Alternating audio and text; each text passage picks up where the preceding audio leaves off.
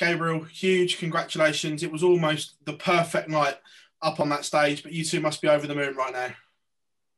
Yeah, definitely. I think we are very happy that we reached uh, the quarterfinals now, and uh, yeah, can't wait to get to the hotel to get some proper rest uh, for the quarterfinals tomorrow. Only dropped one leg in the whole of the World Cup so far. That shows you're both playing extremely well at the moment. I would say so. Yeah, do you agree? Yeah. Max, obviously you've been around the World Cup a long time. The curse of the quarterfinal is it finally the World Cup where you break that curse? I hope so. I think it's uh, the third third quarterfinal now, if I'm right. And uh, yeah, it's about time, huh? No, definitely. We know we spoke yesterday about this being the perfect German pair, but the way you two approach it, you seem so at ease with each other.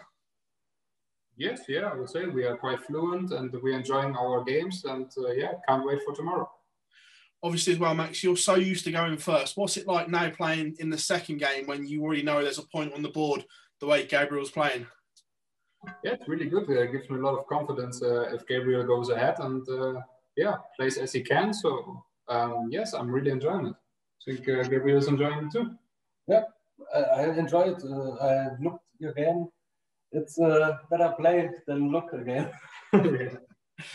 For you, Max, I know you've made a lot of changes recently. The new darts. Have you finally settled with them? Because obviously now we're seeing the very best of you coming forward. So, are you happy with what the way they are?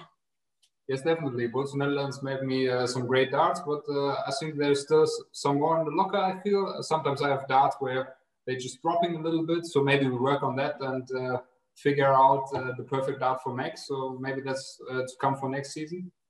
And for you, Gabriel, tomorrow it's either going to be Holland or Spain. Have you come up with the master plan, the game plan for that game yet?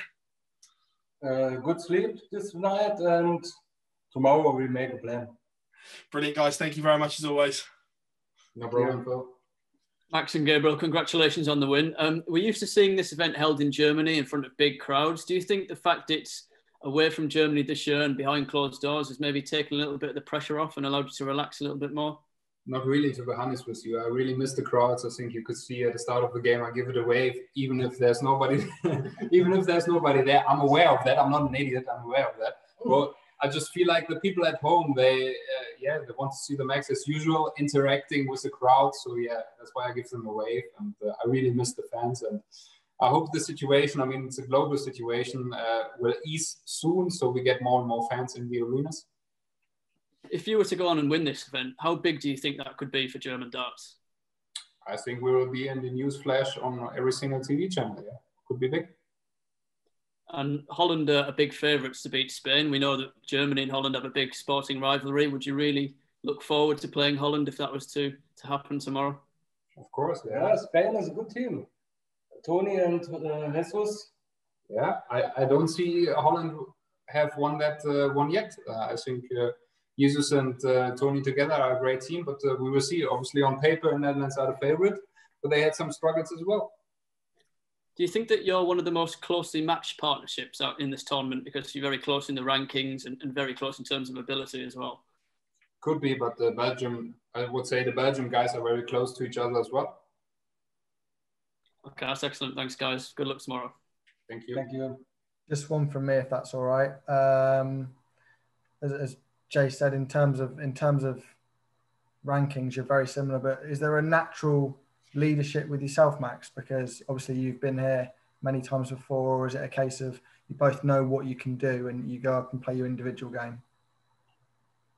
Yes, I think uh, we team we team up uh, quite great, and uh, everybody of us is a is a great individual. But as a team, we are also strong. We showed that uh, yesterday. We have a great team spirit, and I think uh, from here, even if we uh, have to play pairs another time, we can make it, and we believe that. And I think we're a good good team together.